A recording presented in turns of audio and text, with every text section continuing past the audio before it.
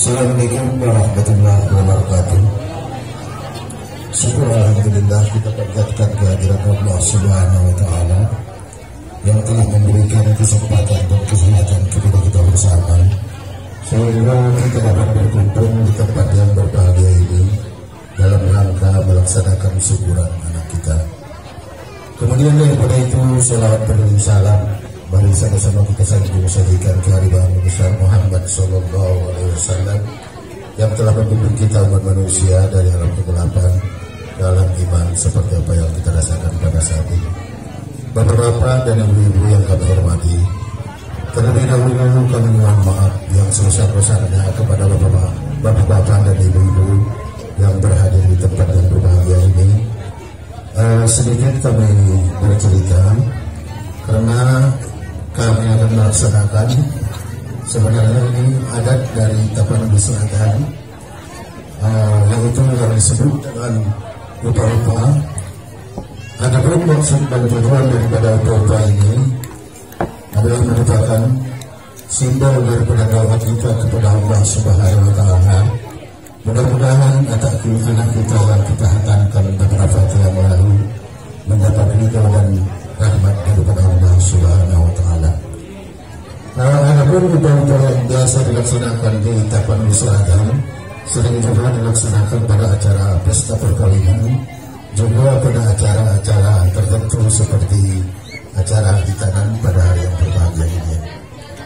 Jadi upacara ini sebenarnya seperti yang kami sampaikan tadi adalah terdiri daripada ada ikan, ada ayam, ada ada garam sementara itu kena itu kan ada juga ada nasi ini merupakan seperti apa yang saya katakan tadi adalah simbol daripada doa kita kepada Allah Subhanahu Wa Taala.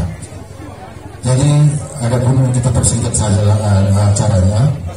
Uh, apa model yang kumrah dasar waktu itu Alhamdulillah, jadi tahun kalau mana pemuda, karena itu yang mendukung hata seperti dua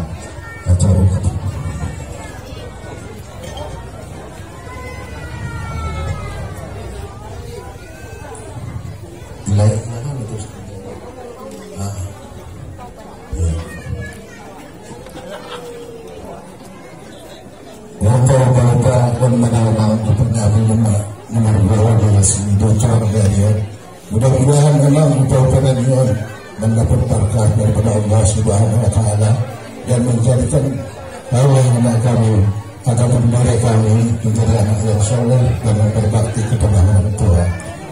Jadi ini simbol daripada doa ini. Seterusnya uh, tolong dicicipkan ada sebagian daripada Allah. Telurnya ya, telurnya sama nasi. Dari jangan saya makanya dari sini.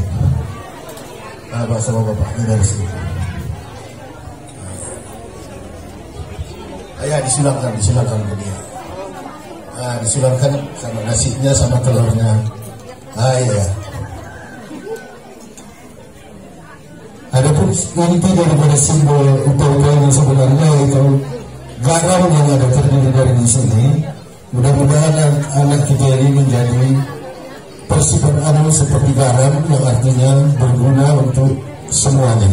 Karena tanpa garam ataupun tanpa ikut garam semua masakan itu kurang berkenan ataupun kurang enaknya. Jadi mudah-mudahan dengan garam dia bersifat seperti garam dan mengambil contoh daripada sifat garam tersebut. Iya, iya. Nah, kasih minum ya. Ah, memang yang lagi.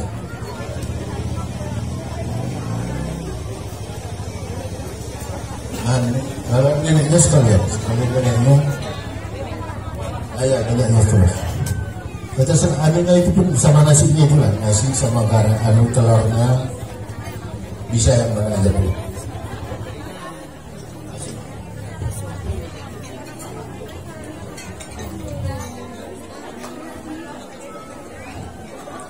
kasih kasih ya.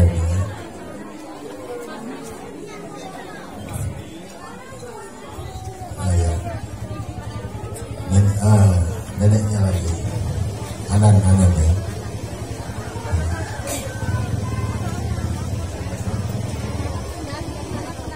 Nah, bisa telurnya pun sama nasi boleh juga. Mau ayamnya pun bisa.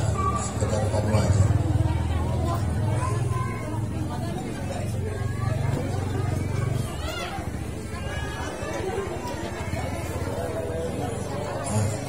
Bibitnya lagi tahu anunya bibitnya barangkali ataupun udahnya udahnya pakcik bibitnya apa? Bisa bibitnya bu bibit bibitnya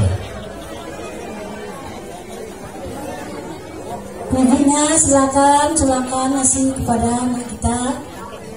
Kakek dan pakcik silakan.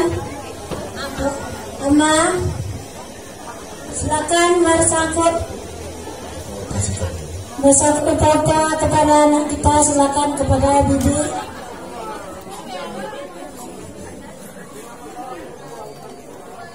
Siapa lagi pakciknya? Pakut. Udah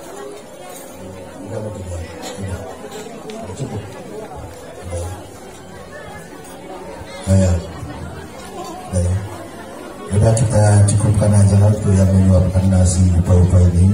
Mudah-mudahan apa yang disuapkan oleh keluarga dekatnya tadi mendapat berkah daripada Allah Subhanahu wa taala dan menjadi darah daging buat anak kita.